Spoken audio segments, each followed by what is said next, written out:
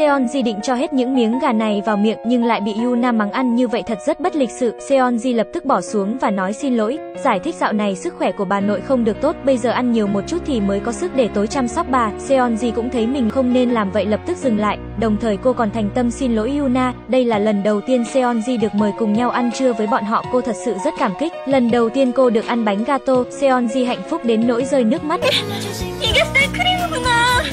이게 생크림이구나. 나 이렇게 맛있는 케이크 먹는 것도 너무 행복해. Bởi vì nhà Seonji rất nghèo, muốn ăn kem ly cũng chỉ có thể cẩn thận xin một miếng nhỏ của Naji. 나 이거 한 입만 먹으면 안 돼? Thậm chí bởi vì ba ngày mới gội đầu một lần nên bị các bạn ghét bỏ. Cho dù là như vậy, cô vẫn vui quên trời đất. Naji và Mire muốn ăn vặt Seonji nghe thấy thì lập tức móc ra tất cả gia sản của mình. 나 20원밖에 없는데. 더 찾아볼게. Naji vì muốn để Seonji và Yuna nó cơ hội gần nhau hơn đã cho họ hẹn gặp riêng. Seonji thế mà suýt thì ngủ gật. Cho dù cô nhóc là một kẻ đầu đất học kém giảng mãi không hiểu, mà Yuna là hoa khôi vừa học giỏi vừa xinh đẹp nhiều năm liền của trường, nhưng vì không muốn phụ lòng tốt của Seonji cho nên đã quyết định đến dạy phụ đạo cho cô. Lúc này bụng của Seonji lại kêu ọt ọt. Yuna trách cô một cái bánh thì đáng bao tiền chứ mà cứ tiếc tiền không dám ăn. Cô chỉ có thể thành thật giải thích. 그치. 얼마 안 하긴 한데 나 친구랑 논 게 처음이라 요즘 돈 많이 쓰거든. 그래서 알바도 하고 있어. 그러니까 아꼈다가 우리 맛있는 거 먹자. 내가 쏠게. Dù sao cũng có một số người, sống thôi cũng đã cần phải bỏ ra toàn bộ sự cố gắng của bản thân, làm sao dám yêu cầu nhiều hơn. Thấy Yuna bị con rán dọa cho không dám cử động, Seonji liền bắt lấy nó rồi vứt đi. Đối diện với lời khen ngợi của Yuna cô ấy cũng chỉ tủm tỉm cười, nhìn bạn của mình bị người khác bắt nạt. Seonji tức giận bóp nát lon nước trong tay. 시방 김수빈은 목숨이 두 개다냐. Khi một người bạn bị cả trường cô lập, Seonji vẫn đi đến ngồi cùng cô ăn cơm, không thèm để ý đến sự cười nhạo của người khác. 나리야, 나 요구르트 여섯 개나 받았어.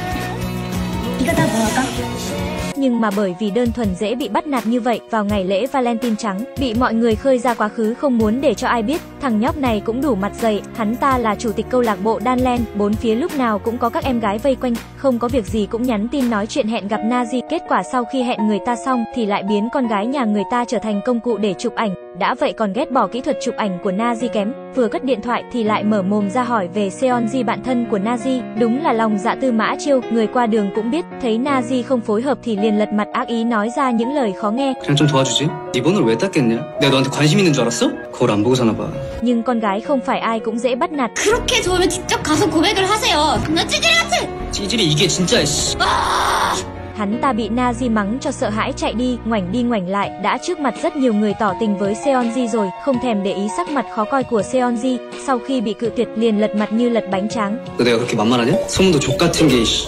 Đến khi thầy giáo bước vào vụ náo loạn này mới kết thúc nhưng từ ngày đó trở đi, những tin tức đồn đại về Seonji đã bị truyền khắp trường, bởi vì điều kiện kinh tế nhà Seonji vẫn luôn không tốt, hồi nhỏ bởi vì da bị mẫn cảm nghiêm trọng, bị các bạn học xa lánh không ai chịu chơi cùng, lúc đó chỉ có một bạn học là Ie Seo đã đứng ra bênh vực cho Seonji, cho nên từ đó Seonji bắt đầu trở thành một cái đuôi nhỏ của cô bạn ấy, không ngờ rằng sau khi chứng dị ứng chữa khỏi thì Seonji trở nên ngày càng xinh đẹp, từ một người đáng thương bị các bạn xa lánh, trở thành bông hoa được các bạn nam theo đuổi. Không chỉ có một đống quà ở trong ngăn bàn vào lễ tình nhân, ngay cả người mà IE sale thích cũng xin số điện thoại của cô. Thậm chí còn chặn đường khi cô đang đi học về để tỏ tình bởi vì không ai biết câu chuyện thực sự giữa hai người nên dù Seonji đã thẳng thắn từ chối nhưng trong mắt của mọi người thì chính cô đã làm cho Ie Seo phải khóc trở thành trà xanh chuyên đi cướp người yêu của người khác. 야, 네가 예슬이 뒤로 민호 오빠 만나고 다녔다며. 그래서 깨졌다는데. 난 거절했어. 했는데. Seonji đuổi theo Ie Seo để giải thích nhưng lại bị Seo mắng cho một trận 오빠가 다시 나랑 보지 말재. 이게 다 너 때문이야. 사귈 거였어. 사귈 거였다고 나만 아니었으면. 내가 친구 없어서 말 걸어줬던 건 생각도 안 나? 은혜를 이따구로 갚아? 가서 애들한테 말하던가. 내가 구라쳤다고. 근데 애들이 네 말을 믿어줄까?